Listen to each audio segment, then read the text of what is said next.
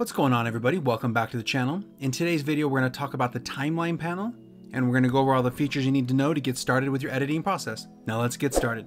So we're going to focus on the timeline panel in this video and you'll notice there's a blue kind of uh, outline of this is the timeline panel itself. In the last video we went over the project panel and we're going to take some items from here and add it to the timeline to start the process. So right now we need a sequence inside the timeline to be able to edit. So we need settings of what type we want the sequence, if we want it to be high def, 4K, whatever it may be. You get the settings to create the project you want it to be. And you can see here it says drop media here to create sequence. So that's the first thing we need to do to get started. So there's a couple different ways we can go about it. If you want to start a sequence, you can come down here and click on new item and go up to sequence and start the sequence that way. Here to the left we have sequence presets. So you can go through and these are presets depending on the camera and the media they're importing. You can start off that. Or if you want to customize it, you can come over to settings and specifically manually put it in if you like. Now let's just say we do this. Say we go to settings and we have this, which is standard high def at 24 frames per second. And we'll just click OK. So now we've created a sequence that's standard high def with 24 frames per second. So a couple things. If we go to drag and drop a media, our very first item, so you'll see here it says 3840 by 2160 and 24 frames a second. So that's 4K. So if I drag and drop in the timeline, we can do that, but because we started the sequence at regular high def, it's now going to ask me, this clip does not match the sequence settings. Change sequence to match the clip settings. So do we want to change the sequence here to match the clip itself? If you want to keep it at the regular high def that we created the sequence, you say no. Keep existing settings in the sequence we just claimed. But say you didn't want that and you actually want it to be 4K going forward, you can say change sequence settings. So once I click change, it now has changed the sequence inside of the timeline to match this video settings. So now if I grab the same video again and drag and drop it over here, it's not going to ask me anything because the sequence was already changed going forward. So every clip going forward will be at that sequence. Okay, so we'll head over here. We'll kind of start with the basics here. All these numbers here, this is actually where your playhead is. It's telling you where you are in your project. So the 06 is the frames per second. So this has 24 frames per second. Once you hit 24 frames, you'll see me slide over. You'll see me slide over slowly and you'll see the frames jumping up. But once I hit 24, it's going to add to the next number. So then went 24 frames per second and then it added a second here. And as we go, you'll see those numbers go up. So those are seconds. So this is 14 seconds, minutes, hours. As you move along, that's where it is in the timeline. Another thing you'll notice here, there's a little magnet. It's called Snap in Timeline. This helps if you notice here when I put this in, it brings it and it automatically just snaps it together. And I bring it in, it'll snap it to place. So it takes the guesswork out of aligning it. If that's unchecked by either clicking it here or clicking S on the keyboard shortcut, it'll turn to white and no longer be blue. So now if that same thing, if I drag it over and if I bring it in, it doesn't snap. So you can easily just slide it to and from. Now this is necessary if you're trying to fine tune something specifically. As a general rule, just for putting uh, clips together, the snapping is very helpful. So I'm gonna turn that back on. And then this link selection. So a lot of times if I have, I have the video and the audio and they are linked together, say I want to slide the audio over or vice versa, separate the video, we can highlight this, come over here and click link selection, which means unlink it. And then now when I move it over, I can move it out of place. But now you'll notice one thing, there's a warning here. This is saying that you're so many frames and seconds past the connection of this. So if we bring it back over, that number now is only nine seconds and 12 frames. If we move it over here, it matches up. And as soon as it matches up, it's saying it's exactly linked up. So now that discrepancy goes away. So I'm gonna go again and move it over.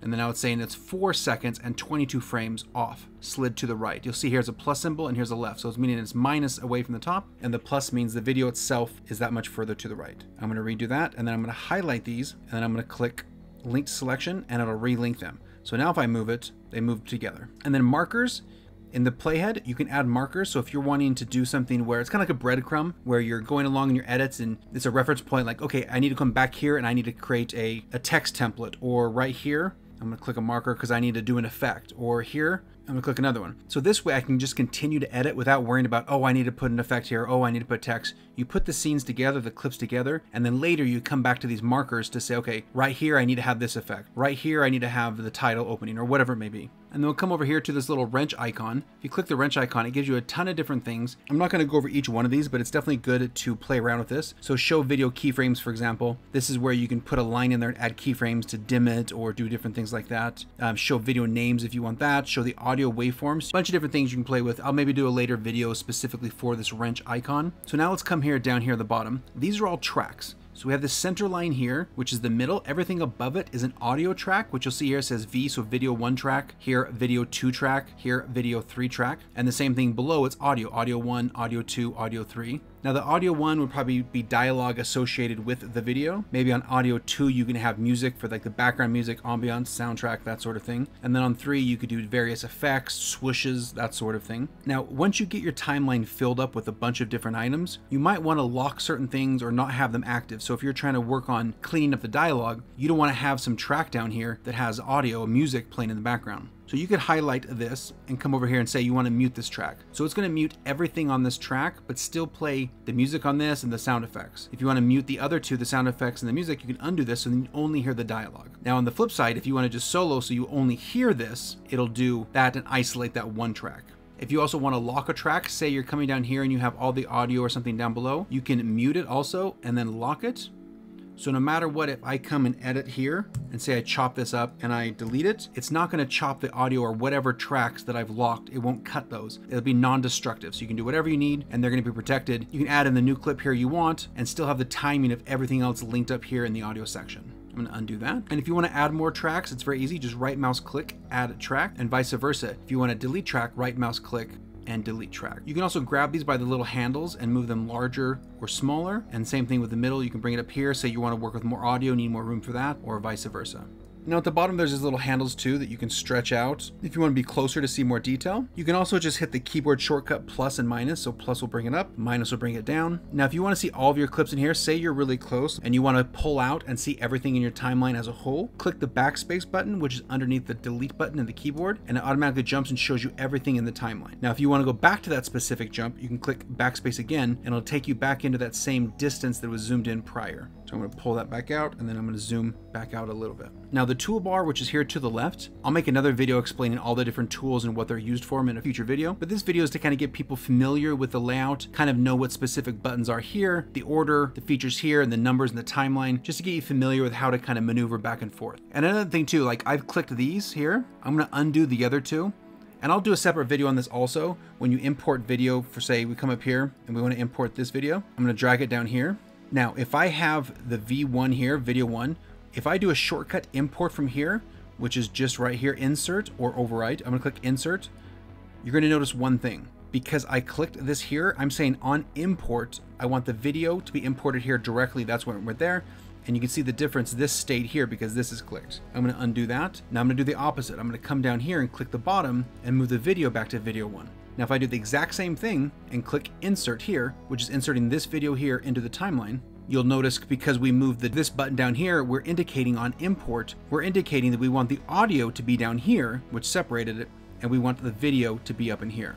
I'm gonna undo that.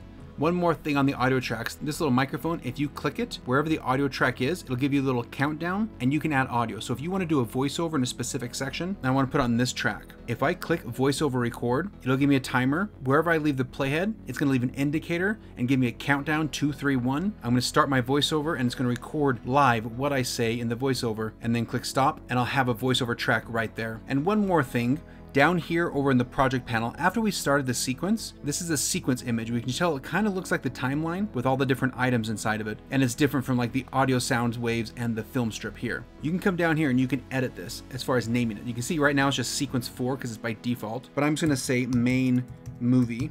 And once I click off it, it's then going to change here, main movie, and because up here in the program monitor, we're playing where the playhead is here, it's also changed saying we're watching the main movie because we titled it the main movie in our sequence build. Well, that is a very basic overview of the timeline and all the basic features you need to know to get you started with your editing journey inside of Premiere Pro. Thank you for taking the time to watch, and we'll catch you next time. Later!